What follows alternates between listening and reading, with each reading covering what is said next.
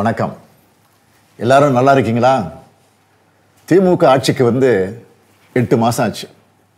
கழக அரசு அமைஞ்சா நாங்கள் என்னவெல்லாம் செய்கிறோம்னு சொன்னோமோ அதில் பெரும்பாலான வாக்குறுதிகளை இந்த எட்டு மாதத்தில் நிறைவேற்றிட்டோம் நம்ம ஆட்சியை வழி நடத்துறது திராவிட மாடல் சிந்தனை. அது என்ன திராவிட மாடல் சிந்தனை? அப்படின்னு கேட்குறவங்களுக்கு என்னோட பதில் சமூக நிதியுடன் கூடிய வளர்ச்சி.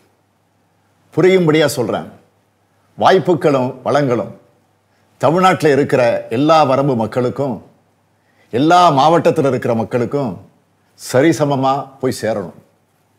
இதில் எந்த ஜாதி மத வர்க்க பாலின வேறுபாடும் இருக்கக்கூடாது. ஒரு மாநிலத்தோட வளர்ச்சிங்கிறது அங்கே இருக்கிற ஒரு சிலருக்கு மட்டும் போய் சேர்றதுக்கு பதிலாக அங்கே வாழற எல்லா மக்களுடைய வாழ்க்கை தரத்தையும் உயர்த்தணும். அதுதான் உண்மையான வளர்ச்சி. அதுதான் திராவிட சிந்தனை. நாங்கள் கொண்டு வர ஒவ்வொரு திட்டமும் இந்த சிந்தனையின் அடிப்படையில் தான் உருவாக்கப்படுது. ஒரு லிட்டர் பாலுக்கு மூணு ரூபாய் விலையை குறைச்சோம். பெண்களுடைய சமூக உரிமையையும் வாய்ப்புகளையும் அதிகரிக்க பெண்களுக்கு இலவச பேருந்துன்னு திட்டம் கொண்டு வந்தோம். தமிழ்நாட்டோட அரசு வேலைகளில் தமிழருக்குத்தான் முன்னுரிமைன்னு அரசாணை போட்டதன் மூலமாக நம்ம இளைஞர்களுக்கான வேலை வாய்ப்பை உறுதி செஞ்சிருக்கோம்.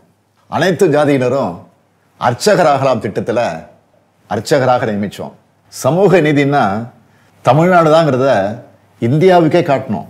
பட்டியலின பழங்குடியின மக்களோட கல்விக்கும் முன்னேற்றத்திற்கும் சிறப்பு திட்டங்களை கொண்டு வந்தோம். இல்லம் தேடி கல்வி இல்லம் தேடி மருத்துவம்னு மக்களுக்கான திட்டங்களை நடைமுறைப்படுத்தி அரசாங்கத்தோட அணுகுமுறையில் ஒரு புது மாற்றத்தை கொண்டு வந்திருக்கோம். திமுகவை இந்துக்களுக்கு எதிரான கட்சின்னு காலங்காலமாக சொல்லப்பட்ட பொய்ய இன்னைக்கு சுக்குநூறா உடைச்சிருக்கோம். உதாரணத்துக்கு இந்த திமுக ஆட்சியில் தான் ஆக்கிரமிப்பில் இருந்த ஆயிரத்தி எழுநூற்றி எண்பத்தொம்போது கோடி ரூபாய் மதிப்புள்ள நூற்றி எண்பது ஏக்கர் கோயில் நிலங்களை மீட்டிருக்கோம். தேர்தல் அறிக்கையில் சொன்ன மாதிரியே கோவில் சீரமைப்புக்காக ஆயிரம் கோடி ரூபாய் நிதியை ஒதுக்க ஆரம்பிச்சிருக்கிறோம். ஆனால் மதத்தை வச்சு அரசியல் பண்ணுறவங்களுக்கு தமிழ்நாட்டை பார்த்தா பிபி ஏறத்தான் செய்யும். என்னடா நாமளும் என்னென்னமோ பண்ணி பார்க்குறோம். அந்த மக்களோட ஒற்றுமையை ஒன்றுமே பண்ண முடியலன்னு வெறுப்பு இருக்கத்தான் செய்யும். சமூக நீதியையும் சமத்துவத்தையும் நிலைநாட்டுற நம்மளோட முயற்சிகளுக்கு எதிராக பலவிதமான சவால்களை முன்வைக்குது நம்மளோட ஒன்றிய அரசு.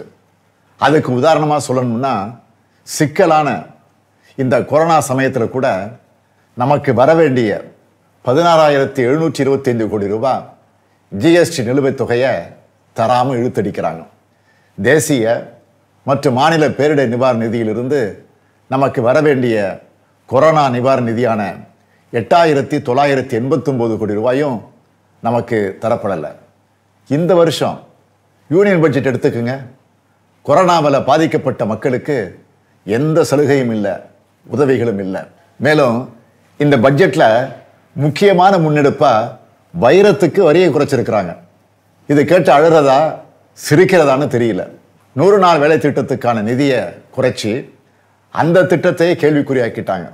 இந்த ஆதிக்க அணுகுமுறையோட நீட்சி தான் நீட் எக்ஸாம்.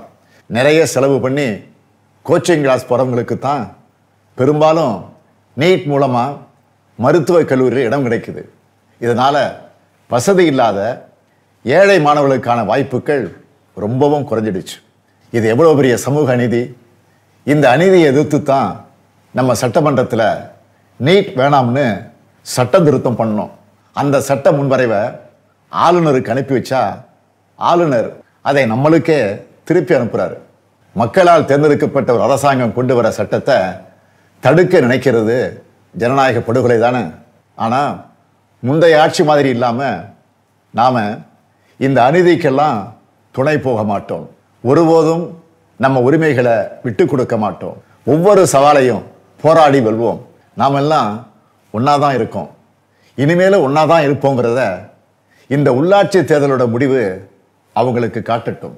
மாநில உரிமைக்கும் தமிழ்நாட்டின் வளர்ச்சிக்கும் உள்ளாட்சிகளும் நம்ம ஆட்சி தொடரட்டும். உதயசூரியனுக்கும் மதச்சார்பற்ற கூட்டணி கட்சியின் சின்னங்களுக்கும் வாக்களிக்குமாறு உங்களை உரிமையோடு கேட்டுக்கிறேன்.